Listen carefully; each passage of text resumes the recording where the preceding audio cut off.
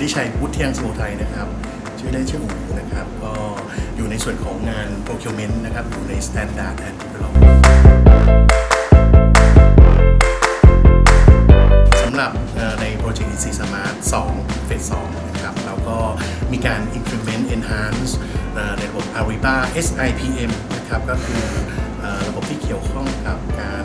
supplier information performance management แล้วก็ Ariba contract จะมาดูแล contract ของเราฟีเจอร์ที่เราจะมีสำหรับ Ariba SIP นะครับ Supplier Information Performance Management เนี่ยเราก็จะใช้ในการที่จะเป็นฐานข้อมูลในการเก็บข้อมูลของ Supplier นะครับ ส่วน Supplier Performance Management เนี่ยเราก็จะใช้ในการประเมิน Vendor นะครับ เมื่อ Vendor เขามาทำงานกับเราแล้ว ก็จะเป็นการประเมินเอ่อ Supplier เอ่อ รายปีรายคอนแท c t นะครับแล้วก็แล้วก็รวมกัน average แล้วเนี่ยก็จะได้ว่าสเปคของคนนี้มีคะแนนเท่าไหร่นะครับส่วน contract นะครับ Ariba contract เนี่ยเราก็จะใช้เป็นตัวในการรันเอกสารนะครับทำเอกสารของ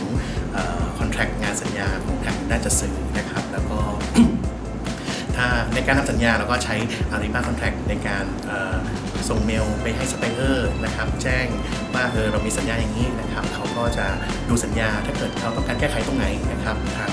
อ่อ Ariba Contract ก็เก็บเวอร์ชันในการพูดคุยกันระหว่างเรากับสไปเออร์ได้นะครับเมื่อสัญญาเรียบร้อยแล้วนะครับเราก็สามารถที่จะคลิกนะครับให้มันมา create เป็น contract ใน SAP ได้เลย ชิญชวนให้เพื่อนๆร่วมงานนะครับมาร่วมใช้เอ่อ enhancement ใหม่ของทางการจัดซื้อนะครับคือ Ariba SITM และ Ariba Contract ครับ